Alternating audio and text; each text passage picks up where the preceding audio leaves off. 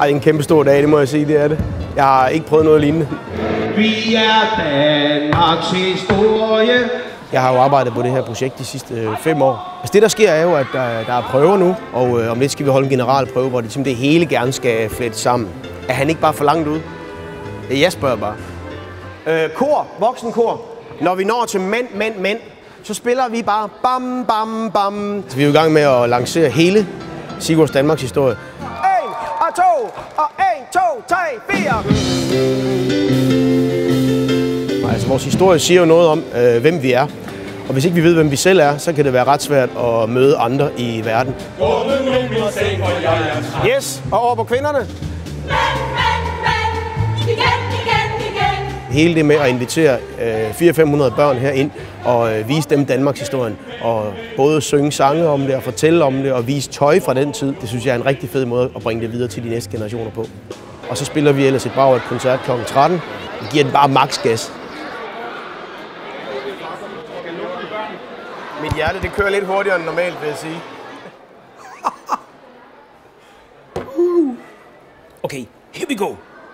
Vi står her på Nationalmuseum, og vi skal fejre, at Sigo lancerer sit største projekt nogensinde. Hej med jer! Er I klar? Ja! Er I helt klar? Ja! Ej, hvor er det godt. Sådan.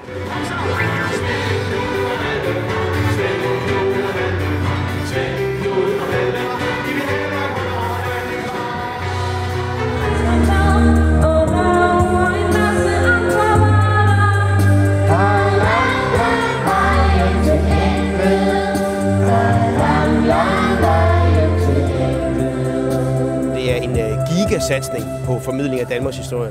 Måske den øh, største nogensinde. Det var meget svært at være tilfreds. I 1864. Prøjserne de steder, man fik stress. I 1864. Man kunne blive gift og købe jord, man kunne få tøj til lille mor. Og diskutere politik i en sky. Her i Viborg by. Ja, ja! Alright! Ja, mellem! Her i Viborg by. Muren falder mellem øst og det tid til en kæmpe fest. Den kolde krig er endelig forbi øst-vest. Og sammen alle har ret til at leve. i frihed og uden frygt. Alle har ret til at prøve. Ikke om det bundet eller undertrykt.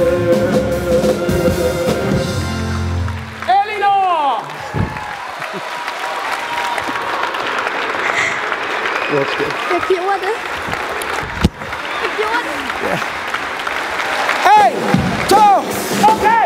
Vi er Danmarks historie. Jeg glæder mig til at skulle lande og rige rundt og præsentere det her Danmarks historie.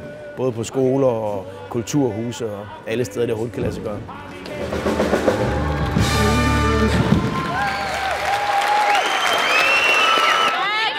Godt. Rigtig god oplevelse. Jeg er simpelthen så rørt over det. At stå her inde på Nationalmuseet og med alle de her glade børn. De sidste halvanden år i hvert fald. Det er bare, der er så mange mennesker, og det er øh, et af de største øjeblikke i mit liv, det her. Wow. Muren falder mellem øst og vest. Nu er det tid til en kæmpe fest. Den kolde krig er endelig forbi øst-vest. Og sammen